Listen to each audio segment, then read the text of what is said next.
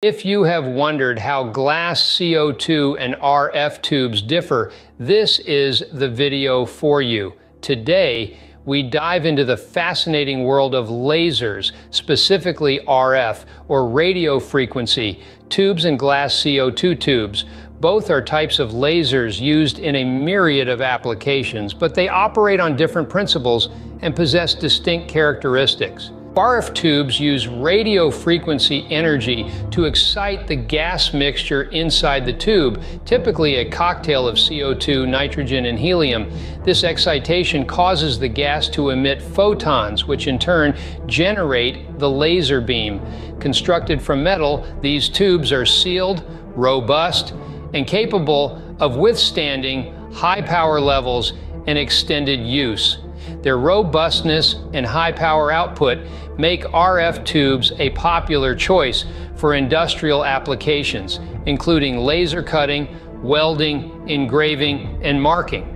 While they may command a higher upfront cost, RF tubes provide longer lifetimes and superior performance compared to their glass CO2 counterparts. On the other hand, glass CO2 tubes also contain a similar mixture of CO2, nitrogen, and helium gases. However, their mode of operation differs. Instead of using radio frequency energy, they typically employ direct current or DC electrical discharge to excite the gas mixture and generate the laser beam. As their name suggests, these tubes are made of glass.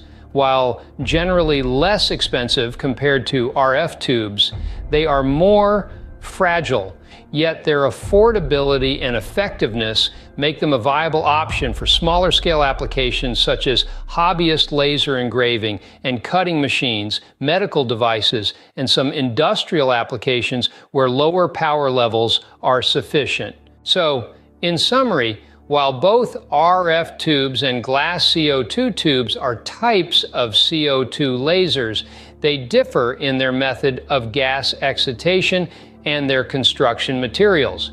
RF tubes, more robust and suitable for high power industrial applications, contrast with glass CO2 tubes, which are more affordable and suitable for smaller scale applications.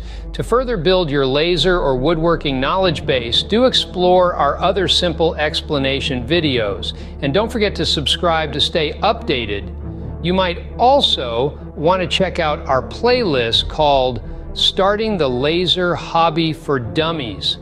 And if you're interested in joining a community of laser enthusiasts, our Facebook group, Laser Freedom, welcomes you.